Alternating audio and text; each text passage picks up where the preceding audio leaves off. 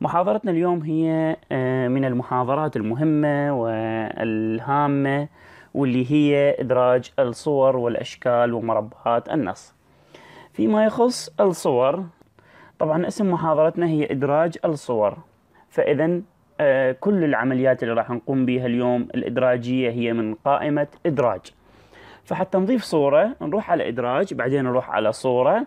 بعدين مثلا أنا راح أختار مكان الصورة وليكن هذه اللي هي بسطح المكتب.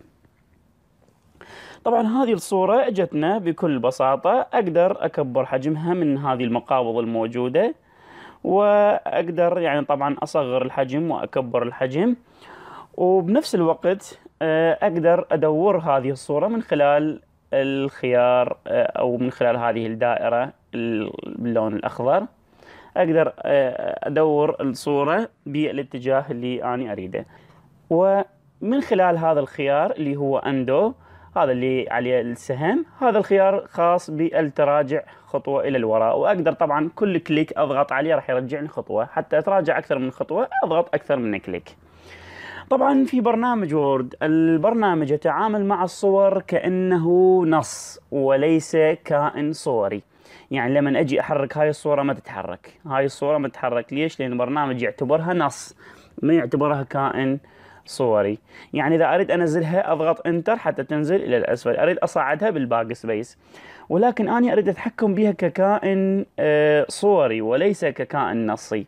بهيك حالة حتى أحركها وأقدر أتحكم بها براحتي اضغط click أيمن على الصورة. واختار التفاف النص. اضغط كليك أيمن ونختار التفاف النص. ومن ثم نختار أمام النص. ومن ثم نختار أمام النص. نعيد الخطوة. كليك أيمن على الصورة. وبعدين التفاف النص. وبعدين نختار أمام النص. هذا الخيار يحول لي الصورة إلى كائن وأقدر آه، أتعامل بها وأحركها مثل ما أني أريد. طبعا هاي الخطوة مهمة وهواي ناس من برنامج وورد ما يعرفون شلون يحركون الصورة.